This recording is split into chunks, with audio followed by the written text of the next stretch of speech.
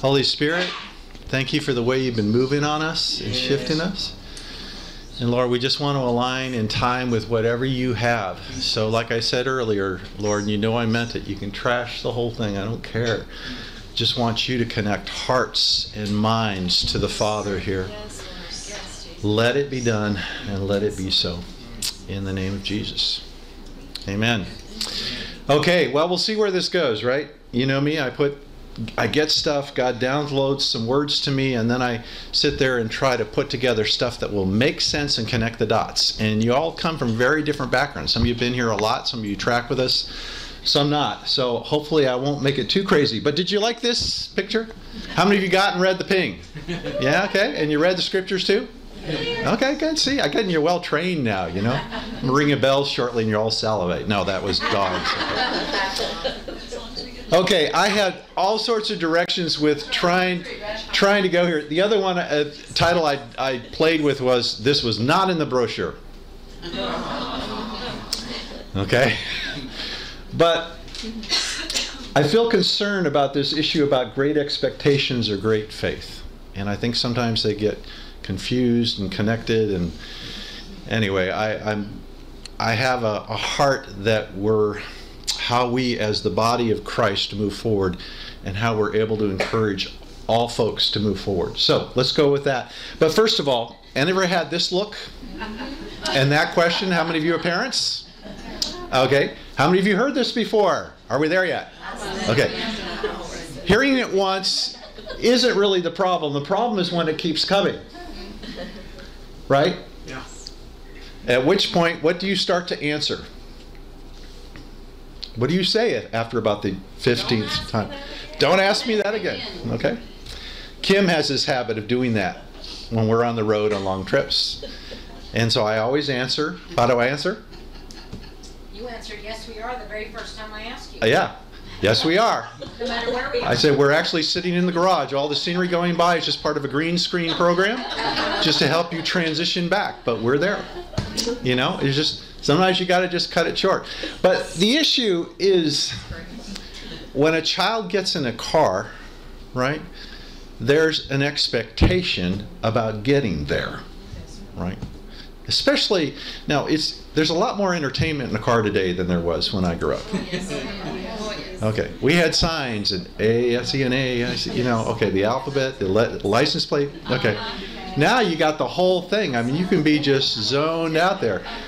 But the issue of that expectation about where you are versus a faith in who's driving, and that the journey might be different and may stop different places. But you, you know, as an adult, you shift some of that. Problem is, a lot of us are still kind of this way. So, let me just bring us back again into time. Okay, we're in the first biblical month, and it has an interesting play out in Scripture. So you've got Egypt, wilderness, promised land, you've got the Red Sea, and you've got the Jordan.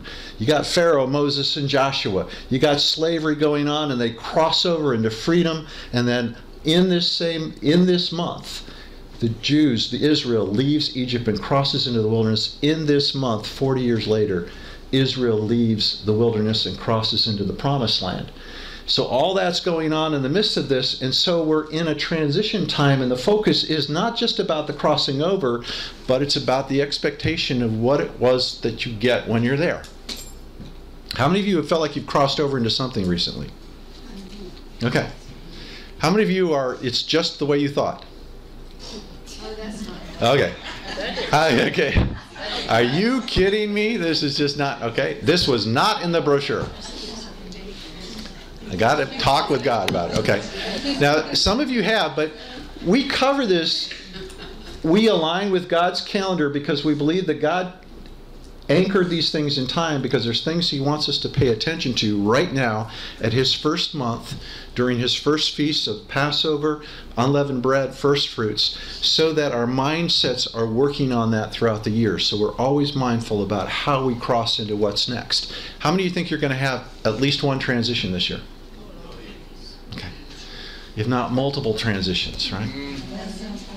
Now, if you think you're not going to have one, I'm really sorry because God's going to have to deal with you roughly then. Because meanwhile, God is transitioning and He's moving. And if you are really His and His beloved, He's going to figure out ways to get you going there.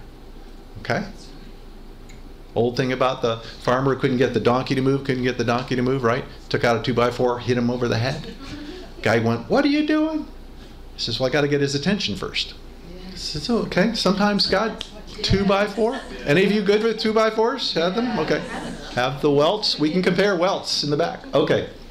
So, this time though, the issue is all the time when we transition, we really want to bypass most of the wilderness. Okay. No, no, no, no. Just beam me up, Scotty. Right? That's right. We, we love we love those future shows because of the fact of the transport. Okay, that's cool. But the reality is, we're really just going, are we there yet? Right? Okay, you know, and we're not. Oh, this isn't what I thought. God, are we? What are we? Okay, and God's like, okay, calm down, right? When you were a child, you thought and acted as a child. When you became an adult, you needed to put those childish ways aside, right? Somebody said that once. Who was it? Paul, that's right. Okay, this is the Stephen Johnson translation. So let me zoom in a little bit more right here because we're in the first month. We're heading now towards the third month. Passover is this feast, Pentecost is that one. And this transition, the critical connection between these two, is going to keep our focus and attention because there's a provision for us to advance to that next hot spot. And what happens at that hot spot? What happens there? What? The fire of God comes, the presence of God comes, right?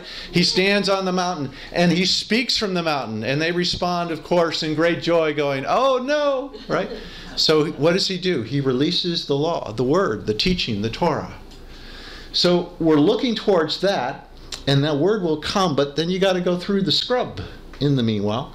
And then we leave Egypt because we're moving to cleave to God, right? We've talked again and again about leave, cleave, become one. We believe those are the three major points that he has with the feast. So we keep those not in some religious way, but just in a way of continuing to move deeper into our relationship with God.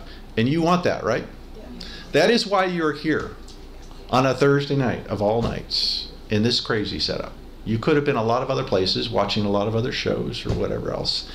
You chose to come here. Well, that hunger, we want to see how God's moving it.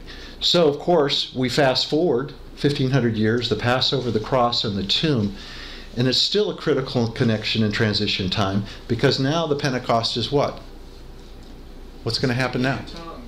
Okay, the power of the Holy Spirit. The tongues was a manifestation. It's not the main thing, right?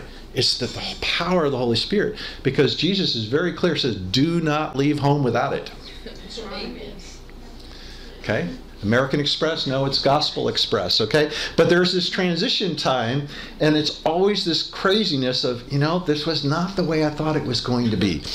And God is so intent that we keep these two big feasts connected that He put something else in here in Leviticus. It's also in Deuteronomy. From the day after the Sabbath, that's the Sabbath that you just had, Resurrection Sunday, okay?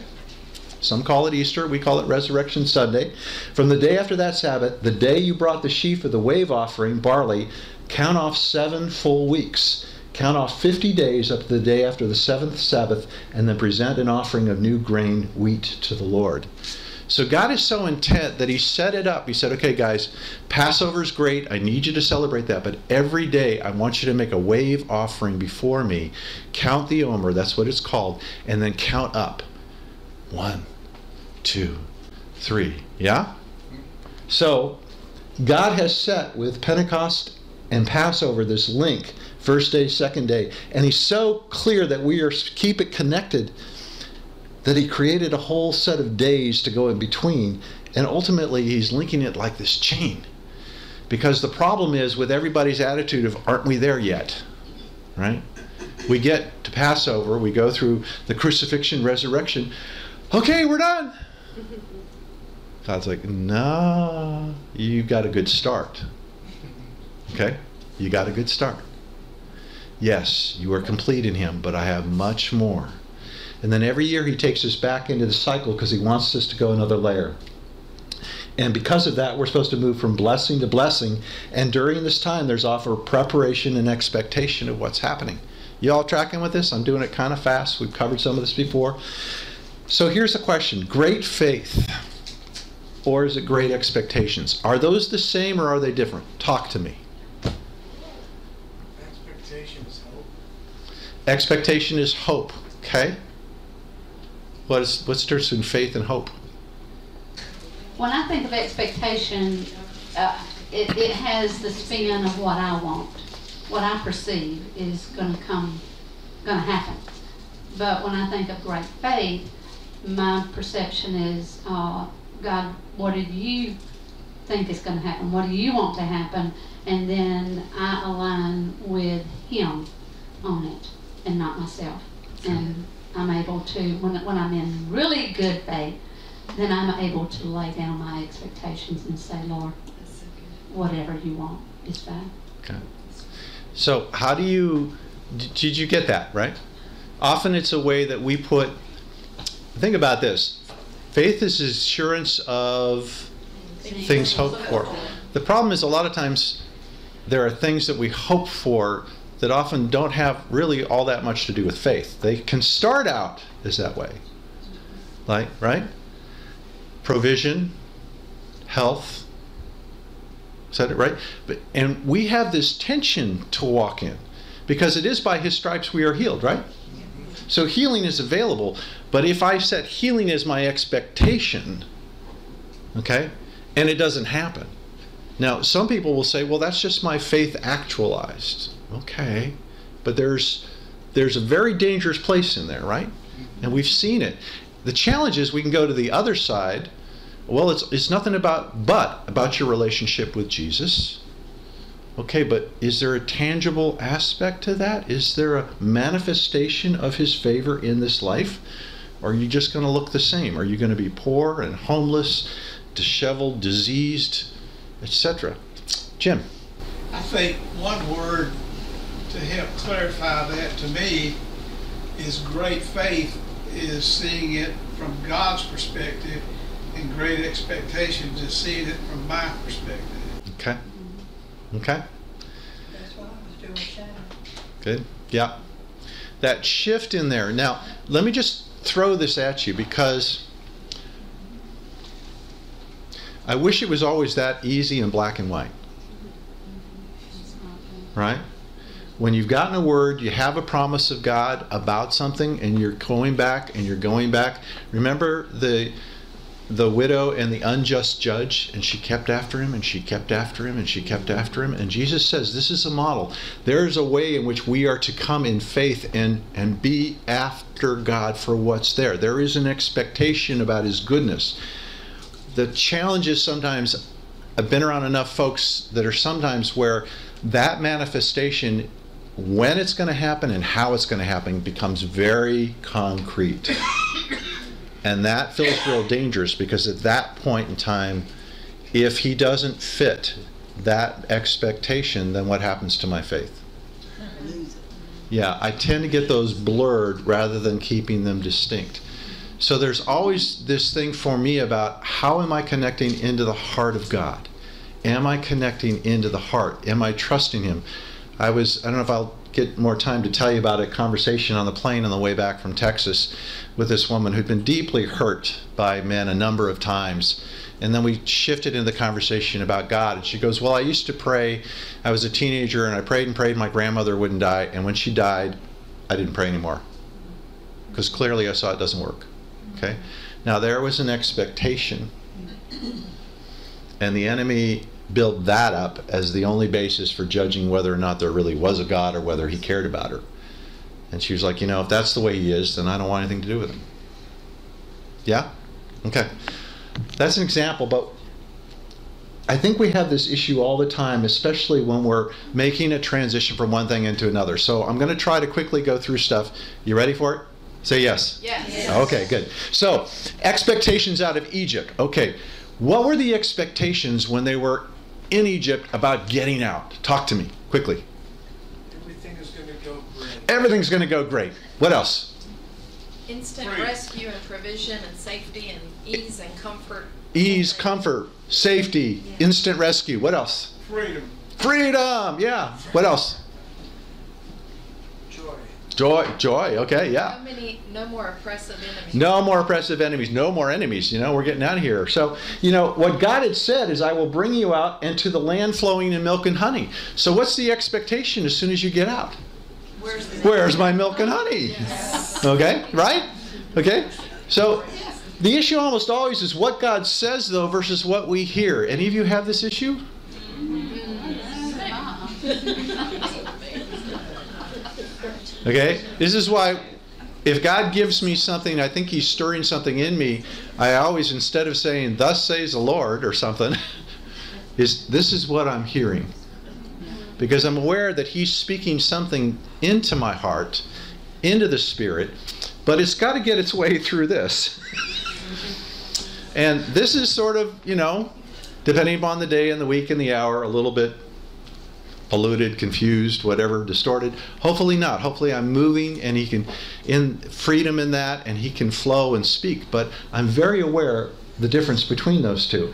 So let's just look at this. Then Moses and the children of Israel, this is once they get out on the other side of the Red Sea, right? Just a quick contrast. They're all excited and they start singing, I will sing the Lord. He has triumphed gloriously. The horse and its rider he is thrown into the sea. So Moses brought Israel from the Red Sea. Yeah? You, you read this, right? It's in Exodus 15, and it's a wonderful, wonderful time of praise. They've just seen this whole thing. Right after that, then they went out in the wilderness of Shur, and they went three days in the wilderness and found no water. That's why the title was This Was Not in the Brochure. Where's the milk and honey? This is right. So this and what does that do then? The expectation starts to erode away on the faith, on the relationship. And so now when they came to Marah, they could not drink the water at Marah, for they were bitter. So even when they see water, oh, water, yay! And they try to taste it and it's bitter. Therefore, the name of it was called Marah, which means bitter. So, expectation, disappointment. Water, expectation, Ugh, disappointment, right? Just you see this kind of thing, and it's like, okay, the question of alignment in faith versus the expectation. And of course, God takes care of that. When the people complained against Moses, saying, What shall we drink? So he cried out to the Lord, and the Lord showed him a tree. And when he cast it into the waters, the waters were made sweet. And he goes on to say, makes a promise if you align with me, if you follow all of my commands, I am the Lord your healer. And I won't bring any of the diseases of Egypt against you, right? But again, it's not the expectation versus the faith. Yeah? I'm going to keep going. So, great expectations coming from the wilderness, about to go into the promised land. Okay, tell me about those expectations now. Come on. Coming into the Co- So now you've been you've been out there and you're thinking, okay, we've been in the wilderness all the time. Now we're going to cross finally into the promised land. Okay, so you're fast forwarding now. Okay, I'm doing another transition this same month. Same things they would have been dealing with that many of us are dealing with. What's the expectation before they go over into the promised land? What are they thinking? Are you thinking about after the spies have gone out and come back? Spies gone out and come back. So now now this is this is when they're actually ready to go. Expectations if they Okay. No, this is when this is with Joshua and they're ready to go. Okay. Oh, okay. Uh, I think they knew they had to fight. I think they knew they had to fight. Okay. What what else? Are they excited? I, I don't, I don't know that, I don't think that they are. I don't know they are. Okay, well go begrudgingly. Okay. I don't know. Okay. Well, Maybe confidence. Well, they They're all to the wilderness with great expectation, and now they're going over here, and they've already heard about these giants. So they're like, if the wilderness was worse than what I thought, Okay. we already know these giants are bad. It could be really bad. okay. So here's the challenge. What you're saying then is that they were all basically pretty faithless. I I also think though that they're like, hey, let's be done with this and go on. I mean, if this is what this has been like and everybody had to die, let's go on and go somewhere Yeah. else. Yeah. Yeah. I'm tired of That's being I think there's a little bit of that. Yeah. Some- There's some- probably some trepidation in Yeah. there, but Yeah, I think it. Yeah. the whole generation had to die. Not, not excited, but resolved. Maybe Yeah, resolved. Way to put it. I don't know. I think Okay. the circumcision probably woke them up. Pardon me? I think the circumcision's probably woke them all up. Well, let's let's get to that. Yeah. So I think when they would have left, originally they would have thought in expectation, hey, the same guy who let us out is going to lead us in, right? Because he had the original word. That's going to change. God will drive all of our enemies out. God had said that. Now they had rebelled at one point, but now all those people who had rebelled are dead. Okay? We made it through the trials. Yeah, I think we're good to go now. Okay? All the faithless ones. Don't you see how they. Can you imagine the number of graves in the wilderness? I mean- two who actually believes. That's right. Joshua and Caleb. The ones who believed from the original. But now this whole generation, God said I had to cleanse it out. Sixty or seventy. But I kind of think this is sort of easy peasy because he's on our side. I think there's got to be a level of confidence in this. Okay, no, I really do because I think they saw that. I'm sorry, I had a sister who, five years older, and did everything the hard way. With my folks, it was a constant fight.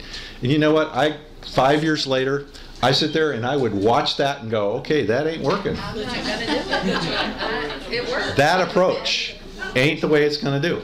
I think this generation could see enough of their parents dragging around until they died in the wilderness going, well, that ain't working. Yeah. That, that worked. And this God is still with us because that pillar of cloud is still moving. So I'm going to stay here. I think there's a sense of, you know what, we're going to be confident in this because there's no sense of them not being prepared to cross the, that second time, right? You get that? Yeah. Okay. But again, what God says versus what we assume. So it was, there's a sense of joy. When all the kings of the Amorites who were on the west side of the Jordan and all the kings of the Canaanites who were by the sea heard that the Lord had dried up the waters of the Jordan from before the children of Israel until we had crossed over, that their heart melted and there was no spirit in them any longer because of the children of Israel. Right? Does this sound like a we will, we will rock you. Okay, right there. They are ready. Okay? Which is great. But again, that's the expectation. And so what happens next? Not quite. No. They ain't ready for Jericho. At that time, the Lord said to Joshua, Make flint knives and circumcise the sons of Israel a second time. So Joshua made flint knives and circumcised the sons of Israel at Gibeath Harloth. Now, what was the oldest man who was circumcised there? Joshua. Well, consider this that all those who were of war age, which was 20 and above, Joshua and Caleb were already circumcised because they were circumcised in Egypt. No one was circumcised out in the wilderness. But that means that anyone who was 19 and younger would have been spared. It's been 40 years. That means you've got at least some that are 59 year old men getting circumcised with flint knives. Oh. Okay, we got we got bris today. Take a line, take a number, we'll get you quick. Okay. Special two for one. You have to be aware that sometimes God crosses you over. You've gotten into a great faith place. You've spent your wilderness time. You've gotten rid of a lot of that stuff that was just in you from the prior season. You're ready to go. And the first thing He does is set you down and wound you. Yeah. There's something old that's got to go. Right. Any of you had that? Yeah, yeah. So now they're in enemy territory. They're not able to fight, and they have to be there behind enemy lines. And God's like, okay, let's make really clear you know who's calling the shots and who's your strength. Not by might, not by power, but by my spirit. Okay.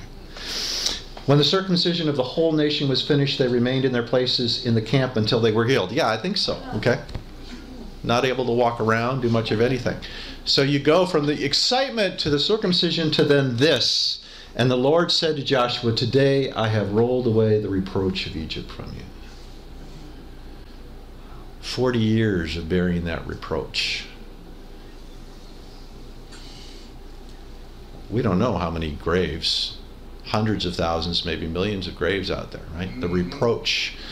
But the kids were still carrying it. And so there was a need to get it cut off. Okay, so we, we got that done good. But then there's a recalibration again right after this. And it came to pass when Joshua was by Jericho that he lifted his eyes and looked, and behold, a man stood opposite him with his sword drawn in his hand. And Joshua went to him and said to him, Are you for us? or for our adversaries? Right logical question, right? By the way, do you know who this is? When it says the angel, when it, when it, when this, well, I'll, I'll get there. So he said, No, but as commander of the army of the Lord, I have now come. You know, we get to this point where we've been working on with something God so much, so much, so much, and so we think, well, God, God's for me. Okay, it's all going to do. And and the angel, the reason we know this is a pre-incarnate Christ, right, is because Joshua will fall down and worship him. And if it's an angel, the angel will always say, "Don't do that."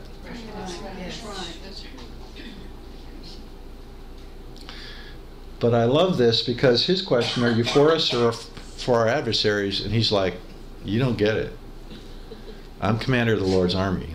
It's not a question of who am I with, it's a question of who you with. See, there's an expectation. Okay, we're going to go, we're going to go to do it. And Jesus shows up and says, You got to get clear about this. Your expectation that this you're just going to do is, isn't it. Are you with me or not? Yeah? Okay. So the question about are we there yet? Okay, I love this picture of this kid. That that's got. It's just we have this same thing. God takes us into something. We cross over. Something new starts. A new job. A new ministry. A new position. Somebody gets married. Kids come in. All these transitions come and come and come. But then it's it's just different than we thought.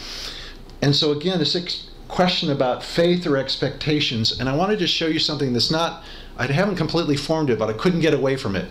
So I'm going to throw it at you and show you. Five degrees of separation. I want to just show you on this journey real quickly. So we start out in Egypt, right? And we have the Jews there. You clear enough with that? Right? I have limitations on my stick figure art. So anyway. Okay. And then, of course, there's a confrontation that comes Pharaoh and Moses, right? What happens next? All the plagues start coming down, right? And be- when the plagues, the first three hit everybody, and then after the first three, what happens? There's a separation between Goshen. And so the first degree of separation is when you're in a hostile environment, surrounded by that, and God does not move you out at all, but He begins to show a demarcation. Do you get this? A separation out. You could have had that happen in a work situation, in relationships. You're still there, still involved in it, but the favor of God starts to show up and you see other things manifesting around you. Okay? Second degree. Pharaoh finally agrees, okay, you can go. So, yay, everybody joins up. Okay? They all saddle up in volume, but then, of course, we know what happens. Pharaoh changes his mind. You got to like how fast these guys move, right? But then something happens, right? Because, again, they're out of that context, but now they're being pursued and chased you've often been in a situation where the authority of what you left, even though you've left the environment, is still trying to get after you. And so the Lord sends a pillar of cloud, a fire and cloud. And if you read it carefully, you will see that it is actually the angel of the Lord. Once again, it's the angel of the Lord who's appearing it. And he is separating those two out. It's the second degree of separation. It's places and times when you've been pulled out of a situation, but there's still harassment that's following you, and the Lord will literally bring in a second degree of, of separation. You know, again, then they get across the Red Sea, right? Looks good, except, once again, these guys are very persistent. Okay? But once more, boom, and God begins to just take vengeance on his enemies.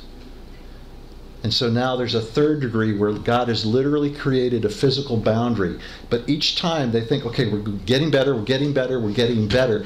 But the reality was, even though they had left Egypt now, even though He delivered them from that persecution, from those plagues, from the uh, assault of the enemy, there's still a spirit of slavery that's in them, right? And so there's another degree of separation that's got to happen now out in the wilderness. And we know part of how that happens is you've got to have that whole generation that rebelled has got to die out there. But not only that, the person who led them out also can't lead them in. And all that's got to go. This represents that fourth degree, and then they get there, and of course, it opens up, they get through, and then when it closes behind, now you've got that fourth degree. Now they've left that wilderness season behind. Okay? All that's been done, but there's one thing that remains, and the reproach of Egypt is still on them. Yeah? So, one more time, God's got to bring another separation. That circumcision means to cut, and now that's that fifth degree of separation. I'm throwing that a lot at you real quick. We could just talk in this. Okay. Just bear it as a concept, okay? Just say five degrees of separation. Five degrees of separation. Just need you to know that a lot of times when God is moving you from A to B, there's all these crossovers, there's all this transition, there's a lot of blessing, but meanwhile, you got to watch your expectation for what it's going to look like. Because often there's more and another layer that He's got to deal with. Okay? And so we've got all these things. You've got the presence, you've got the leadership, you've got harassment, you've got slavery, and you've got this reproach. And one by one, God's got to come through and separate and separate and separate and separate. And only then does He get enough of the people there who have both an attitude of worship and an attitude of, I'm ready to go and get it done. Five degrees of separation. Where are you in this process? Just so you know. Ouch, ouch. yeah. Ouch. Yeah. A lot of time it's painful. And so the question, where are you in that and how is it going? Because each one of these, when God moves on our behalf, right? Goshen, he moved on their behalf. The pillar, he moved on their behalf. The Red Sea, he moved on their behalf. Okay? The Jordan opened up, moved on their behalf. Circumcision, moved on their behalf. But it doesn't mean it doesn't hurt. Mm. And the hurt is often, right, not physically, it's in our expectation. Oh God, we thought. So, with that, let's look at the great expectation of the disciples in Jerusalem. What were the expectations of the disciples in Jerusalem? Talk to me. This is pre crucifixion. What were their expectations? Earthly kingdom. Earthly kingdom. Okay. What else? What does that mean? Gonna overthrow Rome. Gonna overthrow Rome. Right. Israel's gonna reign. That's right. What's it going to mean for us as followers? Leadership. Leadership. What? Leadership. That's right. Yeah, yeah. Places of importance. Places of importance. Okay. How are people going to treat us? Well, Yeah. Yeah, yeah. We're gonna have it's gonna be we're gonna be fat and happy, right? I mean, no, no. You got think about it. If you were one of David's mighty men, okay, but you knew where he was heading, you knew the kingdom he was gonna have, right? You're gonna you're gonna tough it out because you know one day I'm gonna rule and reign. I'm gonna have it. So okay, he's going to establish the king the kingdom of his father David. That means it will look like this. We're going to rule and reign with him. Every knee will bow and tongue confess. The Romans will know it. The Jewish leaders will know it. And no more hiding, right? They've been just kind of going, okay. So, all of that puts us in this story then on the road to Emmaus. Somebody pick up that microphone. I'm going to have somebody read. Jackie, you're right there. Why don't you start? Then you can hand it over there. Now behold, two of them were traveling that same day to a village called Emmaus, which was seven miles from Jerusalem. And they talked together all of these things which had happened. Now, question why do I have a man and a woman in this shot? it's thought that I was a man. Pardon me? It's thought that it was probably. Yeah, there's a reason for this, just so you know. Um, anytime you see it depicted, it's usually showing two guys because it says disciples. Okay? Okay, stop. You trying to pass the microphone instead of pass the buck? I know my I'm just so compelling as a speaker. so. I don't want it. Here, you take it. Give it to Mikey. He'll eat it. He'll eat anything. That is hysterical. If you're watching this replay, I need you to understand the spiritual maturity we, room we have in the room here. It, it varies a lot, not just by person, but by time of day and what's going on. Some of them drank their dinner before they got here. So, okay. Well, let me. Later on, you're going to see that this guy's name is Cleopas. That's the Greek up there, if you can see it. And what's interesting, if you go in the 19th chapter of John, you will find that one of the women who was present at the crucifixion was the wife of Clopas. And because they're so similar and so close, it's not uncommon within Greek names to have them spelled different ways at different times. So they're pretty clear that Cleopas is the husband of the woman Mary that was at the cross.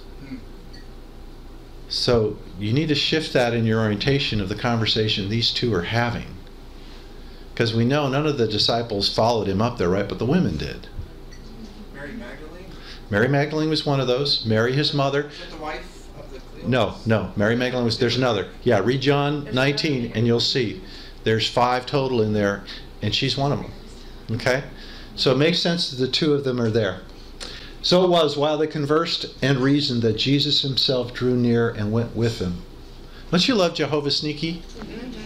Okay, who's going to read now? Do we have somebody brave enough to have the microphone? Okay, there we go. But their eyes were restrained so that they did not know him. By the way, that word in the Greek, restrained, is literally to like hold somebody back.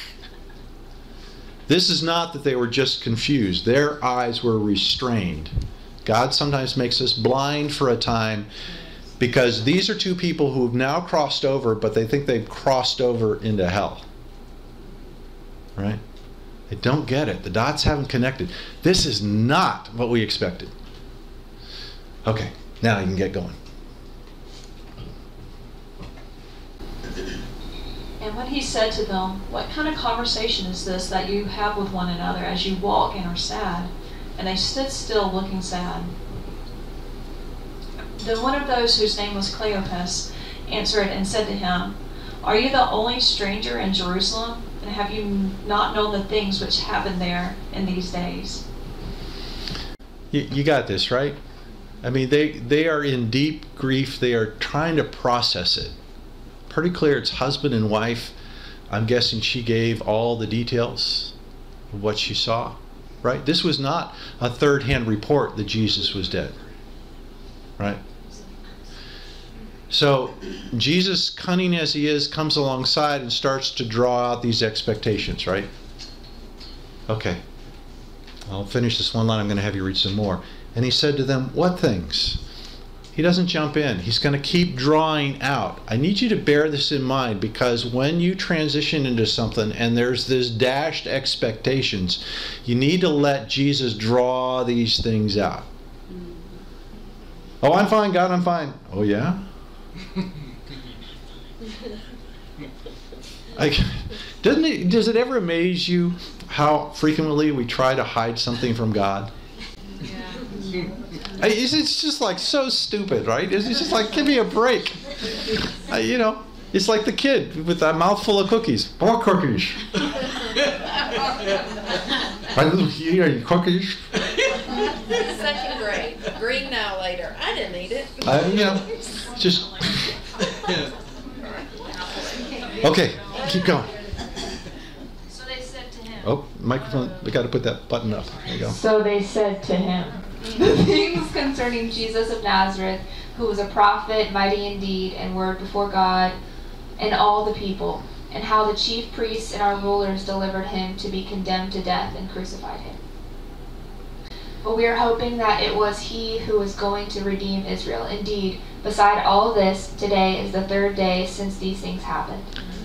Okay, key phrase in here, right? One, they've already kind of lowered how they're talking about him. They thought he was what? Prophet. Mighty indeed in word. But I, this line with a but, but we were hoping that it was he. That phrase right there. Okay, let's keep going. Yes, and certain women of our company who arrived at the tomb early astonished us. When they did not find his body, they came saying that they had seen also that they had also seen a vision of angels who said he was alive. And certain of those who were with us went to the tomb and found it was just it was just the women had said, but him they had not seen. Okay, good. What's this a picture of? Natural stone. Yeah. Art. Shape. Yeah, it's it's stone. It's a stone thing, but it's it's a picture of a heart. Okay, let's keep going here. And he said to them, O foolish ones and slow of heart to believe in all the prophets have spoken, ought not the Christ to have suffered these things and enter his glory? And beginning at Moses and all the prophets, he expounded to them all the scriptures, the things concerning himself. Wow. How long was this walk? Seven miles. How long would that take? Hours. Twenty-eight minutes. Yeah. Cou- couple hours is usually couple hours. Now, if you're depressed and grieving, how fast do you walk? Yeah, I think you're kind of you're kind of moving slowly, right? There's just not much energy, much life. Walking in sandals on rocks. Yeah. So I think this conversation, can you imagine though? He is now downloading, he is starting from the beginning. Bada boom, bada boom, bada boom, bada boom, bada boom, bada boom, bada boom, bada boom, bada boom. So this is all moving. He's addressing them. When they drew near to the village where they were going, he indicated that he would have gone farther. I love this. Right? He, he- playful.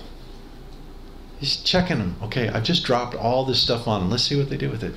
Do you, do you understand there's a, something here that God is shifting in us to say, look, I am going to engage you. I'm going to draw out all that stuff, and then I'm going to start speaking into you. And then I'm going to do something I'm going to see if you respond. Okay? The bush was burning. Moses saw it, but it's only when Moses saw it and turned and said, I'm going to see what that is, that God spoke to him. So often God's looking for some kind of response to us instead of going, uh, you know, all those arguments were nice. Thank you very much. He's dead. You know, what's, what's, what, what? Instead, they, there's something drawing them in and they constrained him. Do you remember that word about their eyes were? Okay, same Greek word here. Saying, Abide with us, for it's toward evening and the day is spent. And he went in to stay with them. And of course, you know what happened. Now it came to pass, as he sat at the table with them, that he took bread, blessed it, and broke it, and gave it to them. And then their eyes were opened, and they knew him, and he vanished from their sight. By the way, do you like this painting? It's a guy named Barry Motes. And this is actually his modern day interpretation of the road to Emmaus meal hmm. in a rest stop at Kentucky Fried Chicken with a husband and wife breaking bread. So you got you got to bring it into into your world now. That he engages them in their world and then they invite him to dinner and it's only in that moment and they said to one another, Did our heart burn within us? Did not our heart burn within us while he talked with us on the road and while he opened the scriptures to us? I need you to get this. When did their heart burn? While he was talking. Did they know who he was? Okay. You, you got to get that the Lord will begin to download scriptures and truth to you through any number of different sources, and you won't even get why it's coming. It might come a piece of truth through a movie, a billboard, somebody who doesn't even know Jesus will say something to you, and God is just, and inside you're just, you can feel it. You can feel it. The more that you get a radar for hearing what the Spirit is saying, He just will do that.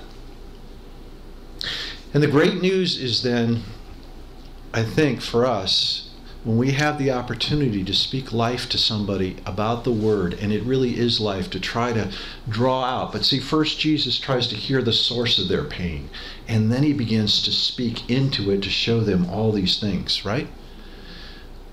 But their hearts were burning within him. I mean there's something so engaging about what we can do as well. But i love this. Then they rose up that very hour returned to jerusalem and found the eleven and those who were with them gathered together. How long did the return trip take? Yeah, I'm guessing somewhere, yeah, really fast. Because were they excited now?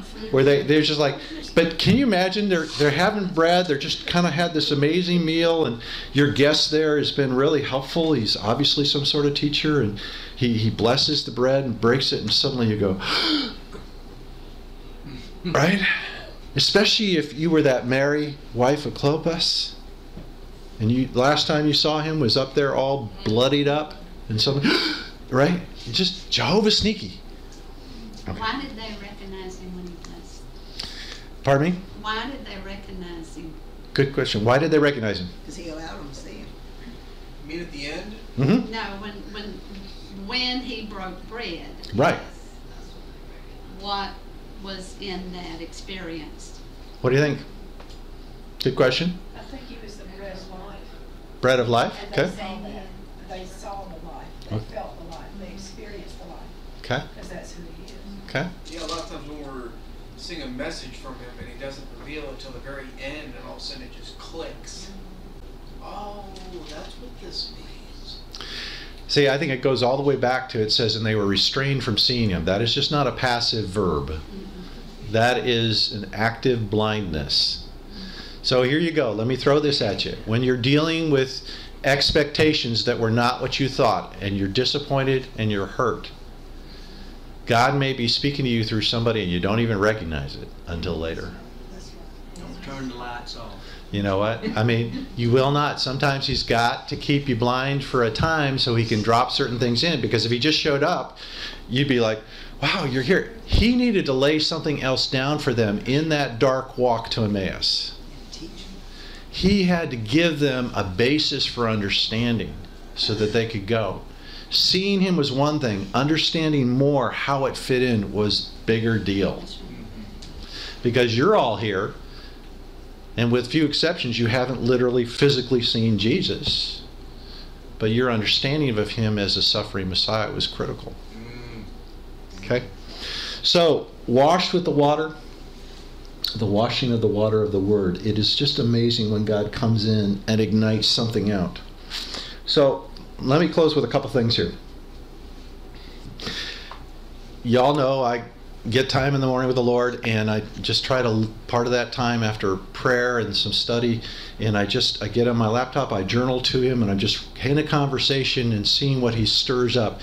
And I was in this thing about the road to Emmaus, and um, and He started to talk to me about that. He frequently sometimes easier to read what I heard. So, what'll happen for those of you don't know? Um, I'll be doing, I'll be just saying things, and suddenly I will hear, I'll have a sense that he's starting to say something. So I'll stop and I'll just write, type out the first three words or something, and then it keeps going. And, uh, but he was saying this, I thought it was interesting. The way along the road is how I like to engage my people. They always want to stop at some place in time, but I prefer to speak while they're on the journey. I come alongside and pose the questions in their heart. I draw up and out the dashed expectations. But then they will not listen to what I say in response. They harden their hearts from the truth. You saw this with the woman on the plane. You drew up the sorrow in her heart and you spoke into it, but then as you tried to help her correct her course and thoughts about me, she pushed back to stay in her hole rather than emerge into the light. I am your way forward in this. I am he who has come alongside in your disappointments about so many things. He began to speak some more, but then this is the phrase as he continued to talk I make myself strong in your behalf. It is my plans that are to be established, not your expectations that are pre- to be protected. Amen. It is my plans that are to be established, not your expectations that are to be protected. You get that? There is more. I am he who moves when and where I choose. Agree with my plan of warfare and do not hold me back. So let me give you one other part. Oh, sorry. Okay. Wait, we, we can't. Well, you can get it from us. Yeah. Replay. Oh, it is the same one, okay, good. Good. Kim, I don't know if you'll need to adjust the camera or not. Stop reading, move forward. Abigail got it. I wasn't sure if I was going to do this. I'm still not sure it's a good idea. but you know me, sometimes. So let me tell you. That was yesterday morning when he gave me this. And this morning I was before him, and he's just. Have any of you still trying to process some of your disappointments with God? Yes. Yeah? Okay. I was recently in a situation in a place where there's a source of a number of disappointments. Things I thought were going to go a certain way didn't, right? And so I just was with him and, and was working on what he was wanted to say and this whole idea of this degrees of separation. And sometimes he'll just show me a picture. And this morning I'm there and I, I just suddenly I get a picture of what is looks like my heart. But it's not my heart. Instead, it's kind of this mess, like kind of yarn or rope twined around that's like covered in black tar. And I'm like, okay, that ain't good.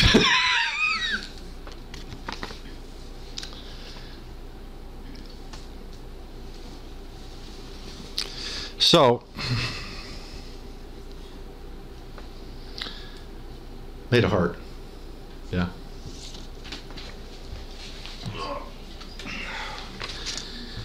Some of this I need to get his words, and I'm not sure how I'm going to do this without getting myself completely messed up with paint and all. Got a happy ink out of it. Uh, maybe.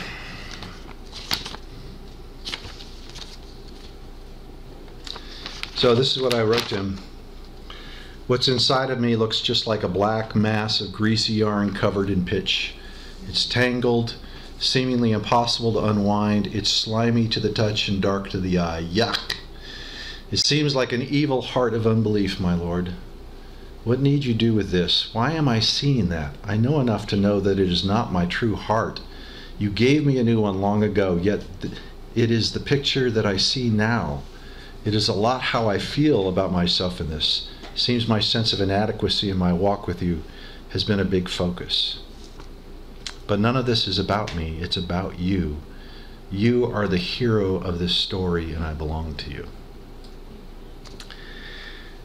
And then I was writing that there's something in here where sin is abound, grace can more so abound. I do not want the black crud, but when it does come, if I bring it to you, will you deal with it? And then I was seeing the fibers. I guess I got to just try to do this. Okay. So.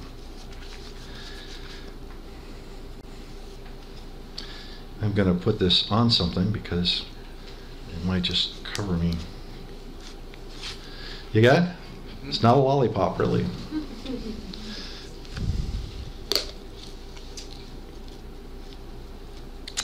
So,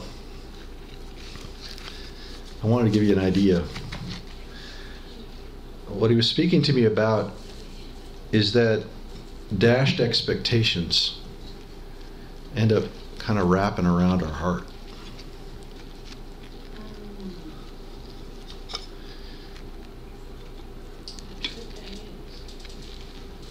And bit by bit, oh boy.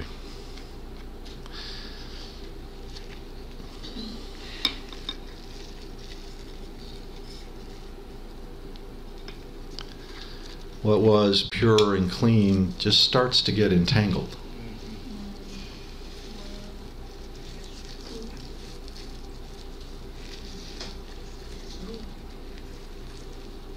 Does any of you feel like this sometimes?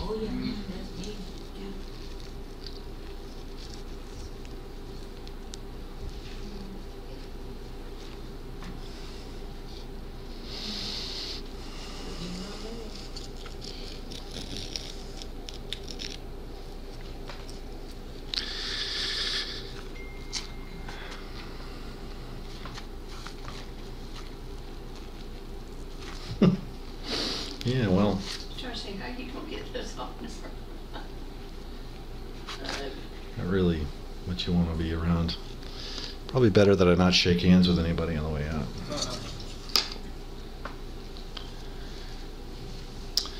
But then what I saw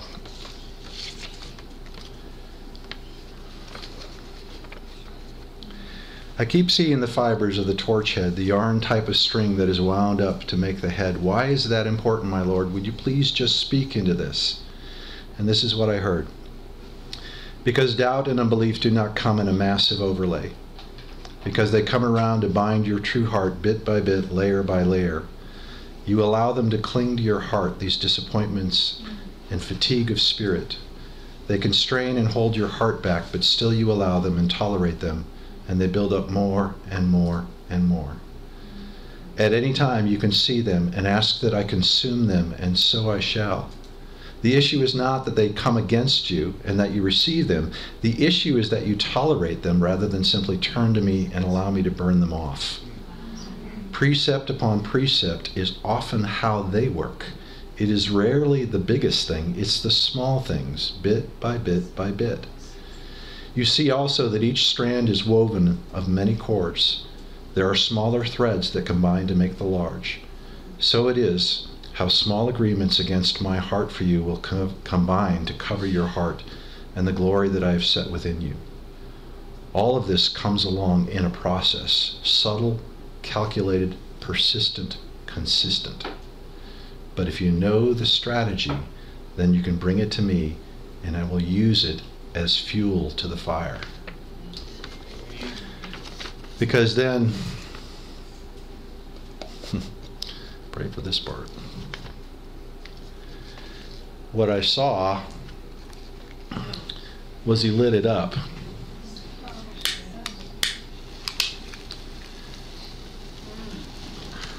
And it became a torch. And then I saw him pick it up and wave it as a signal. You see, what he was showing me is that all that garbage could then be used to set my heart on flame again. Amen. Thank you.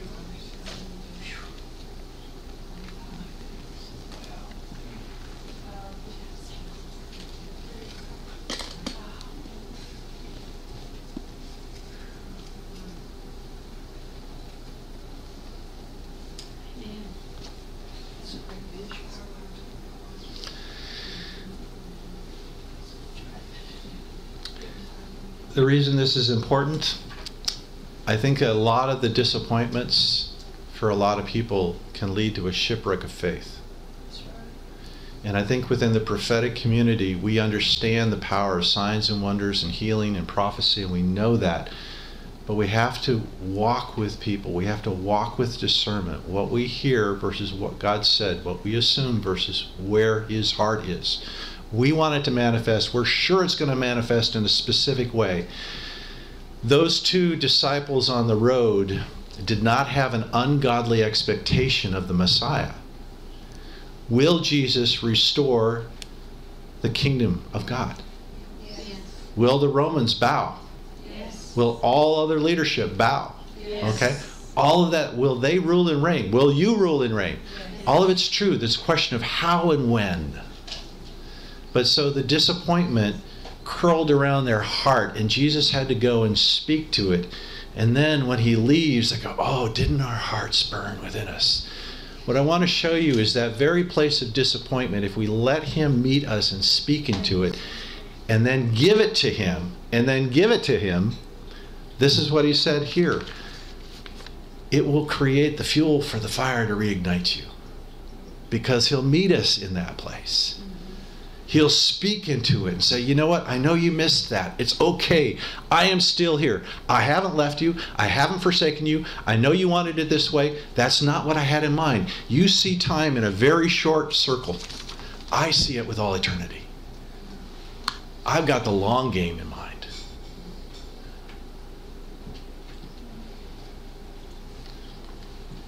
Wage a good warfare, having faith and a good conscience. Some have rejected that and concerning their faith have suffered, suffered shipwreck. Sometimes we can get to the place where we almost shipwreck our faith. So, the question of great faith, great expectations. Great faith will lead to the right kind of expectations, provided it's true faith in Him and not necessarily in a specific thing that you want Him to do.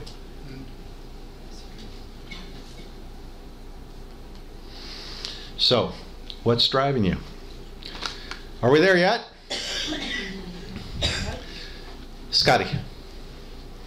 Earlier, um, I guess when Gail, um, they had that word, what came to me was about cleaning our vessels, daily repentance.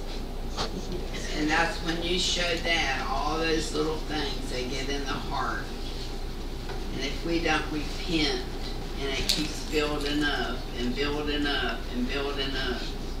And then God cannot get through there until we repent and we ask Him. So I, I feel like John the Baptist, repent, repent, for the kingdom of God is at hand. To keep our hearts clean. Amen. So, Father, I suspect there's a lot of old disappointments in this room. Places where there's some of that twine wrapped around. Holy Spirit, I ask that you would show it if they can't see it.